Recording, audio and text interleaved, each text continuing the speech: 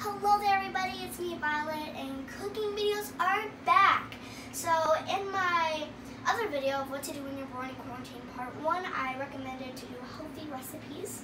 And when I said I liked making pesto pizza with my dad. And many of you have been asking to do what's that recipe. So I'm gonna I'm gonna show it to you in this very video.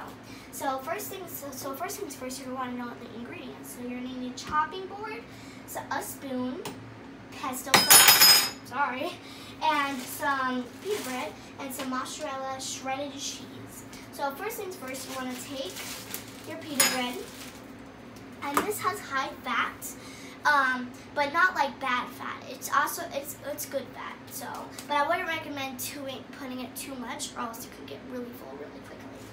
All right, so you're gonna wanna squirrel it, and then you're gonna want to take at least three scoops.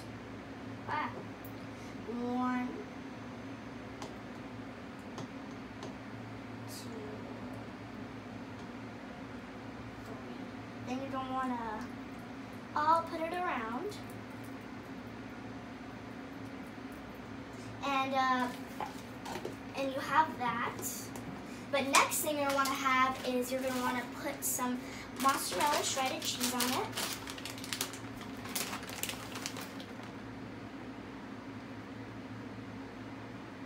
You can put as much as you want, but like not too much.